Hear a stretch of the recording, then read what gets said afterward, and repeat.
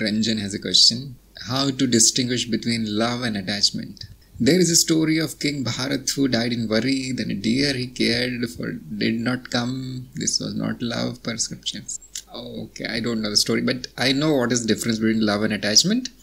Love is about giving, and attachment is about taking. Love is fearlessness, attachment is the fear of losing, and uh, love is freedom, attachment is bondage. Everybody knows that, isn't it? And who else can tell me, you know? Let us do this Q&A again. Uh, anybody wants to add more point in points in this table? Love versus attachment. Very, very knowledgeable people here in this matter, I think, more than me because I never love and I don't have any attachment. No practical knowledge here. What I know is, you know, when you don't need anything, when you find you I am whole and complete, the the consequence is love. We call it the unconditional love, where you don't want, but you don't want to give also. You are also the Brahman. What are you asking? Love me, please. What? We are already one.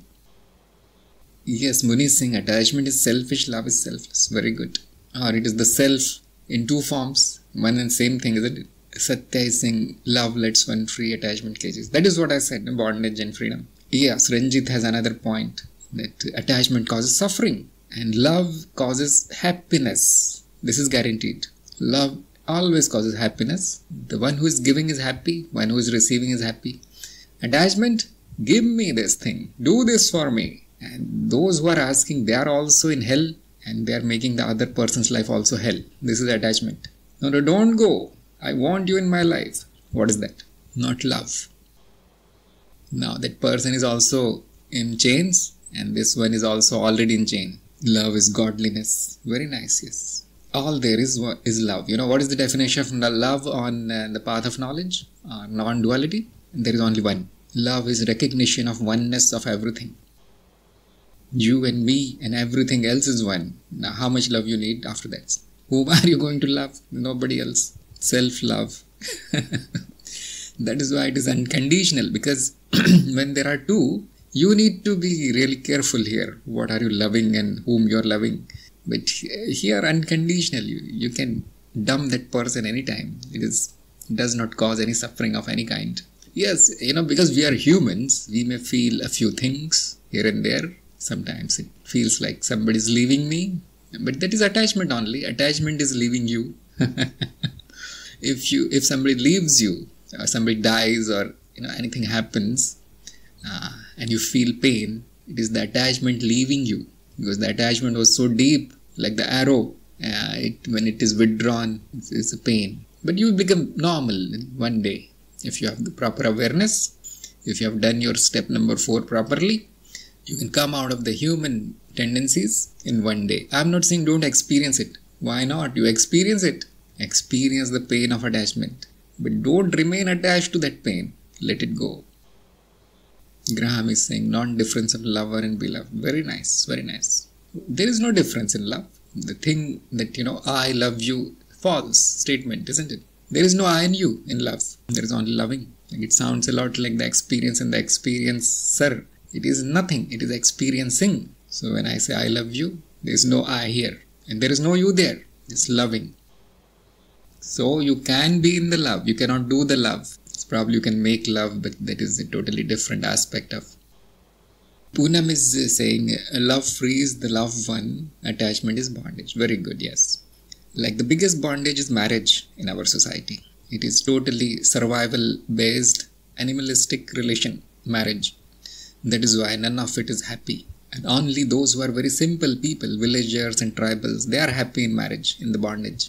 As soon as you become a little bit grown up, educated, aware, now you won't be able to marry anybody. It does not mean that you won't be able to love everybody, anybody. You will be able to love whomever you want. So that is why I'm totally against all kind of bondages. The marriage is a bond which will last for many lifetimes. The consequences, they linger for many lifetimes. You have a love affair, no issue at all. It is also for many lifetimes, but it is not going to cause any bondage. You will meet the same lover again and again many times, but it's um, freedom. So, any kind of legal relation where you need to sign because the other person needs to survive on your money, very bad. Never let the society tell you what is love. And don't tell the society. They need to suffer. They need the fruit of their karmas. Graham is saying the lover feels the same about himself and the beloved. Yes, there is no difference at all. Actually, in a good uh, relation of love, the minds become one. You will find the evidence of uh, universal memory here. If you are deeply in love, you will know what they are doing, what they are thinking, whether they are in trouble or whether they are angry or sad. Merging happens. Why is there uh, like hate? Hate is the embodiment of separation. I am not like you. This is the hate. Or I am better than you. Or you are not worth me. This is the hate. Love is exactly opposite. It's the merging, not a separation. And the merging is manifested as the destruction of the walls between the minds. It's possible. I mean, almost everybody gets this kind of experience. You remember the person whom you are loving, you get the call. Or you already know that your girlfriend is going to send you pictures you open the mail there are pictures happens a lot to everybody but because of the ignorance they kind of cannot think more than that if you ask a person on the path of knowledge immediately will say universal memory. I told you so. Yes universal memory. You see? What do you need to do to get an evidence of the universal memory? Love. Fall in love. See how beautiful it is. Sweetie is saying, because existence is one, therefore, when one becomes one, with it, love is called to be unconditional. Very nice, very sweet. Uh, love is effortless. Attachment requires effort. Shreya. Very good, very good. Very unique thing. Yes, you don't need to do any effort to love anybody. You know, it's in there, it's just there. Attachment, you need to keep that person bound to you by hook or crook, by gifting things, or by serving that person, or by manipulation, or sometimes people lie. A lot of effort, isn't it? Sweet is saying only when we are in ignorance we seek or want love. Very nice. Uh, the ignorant person is always asking for something, and a knowledgeable person is always giving something. Take it, I have love, you know, I am love, okay. How much you want? No, no, you are ugly, I don't want your love. Okay, no problem. I still love you. So it has nothing to lose, you see. Love has nothing to lose, and uh, attachment is already lost. Already things have been lost there. That is why it is fearful.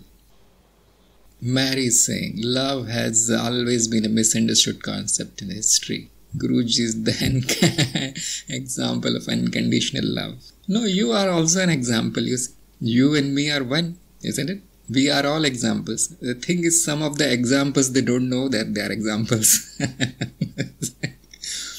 some of these samples they don't know what they are. They are the troublemakers, isn't, isn't it? Like I say, there are seekers and there are trouble seekers, always seeking trouble. But uh, the, you see, the existence is all the possibilities. We need the hate to understand the importance of the love. We need the conditional love to understand the, the lightness of the unconditional love.